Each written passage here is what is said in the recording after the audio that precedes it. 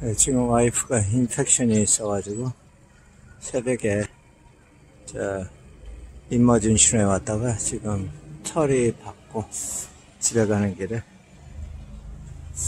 기름 넣고 있는데 저기 보면은 멀리에 또 까마귀 떼가 아주 그냥 다닥다닥 전기줄에 붙어 있죠.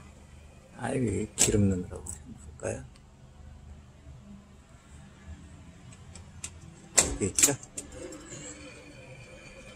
보면은 이 전기줄 끊어지겠어요. 저렇게 다닥다고 그래서 방금 전에 뭔가 해서 놀래가지고 하늘을 시커멓게 날아다니던데.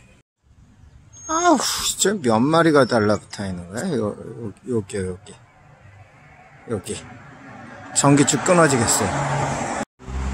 아우, 보니까 여기만이 아니라 여기에서 이 전기줄 끝까지 다 달라붙네. 한 2, 300마리는 되는 것 같은데. 쟤, 쟤네도 몸무게도 꽤 나가는데.